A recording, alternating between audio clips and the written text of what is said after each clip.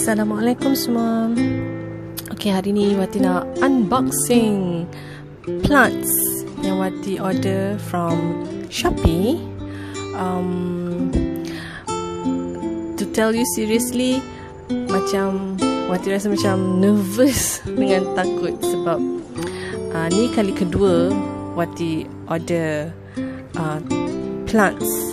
Uh, The first time tu cara pembungkusan tu agak menakutkan lah. Uh, jadi tumbuhan tu banyak mengalami kecederaan. Tapi uh, yang kali ni Wati order daripada tempat lain from Penang. Um, seriously, I saw her IG and banyak orang puji cara pembungkusan uh, daripada mereka lah. Jadi Wati pun uh, memandangkan dah rindu sangat nak keluar tapi tak boleh keluar kan. Um, bukan tak boleh keluar, keluar hanya untuk benda yang penting. Nak beli pokok-pokok ni tak penting. Jadi adalah melalui Shopee.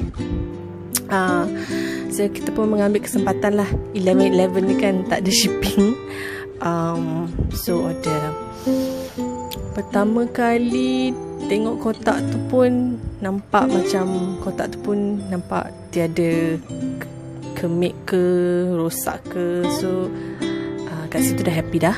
Dan bila buka pun nampak macam uh, wow. Uh, I'm amazed dengan cara pembungkusan dia.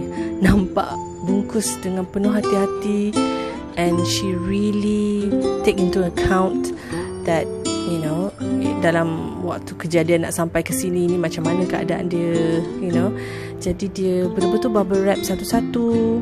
Lepas tu dekat tanah tu dia letak tisu basah to make sure that the plant tak tak thirsty and sentiasa segar. So seriously cara pembukasan dia ni memang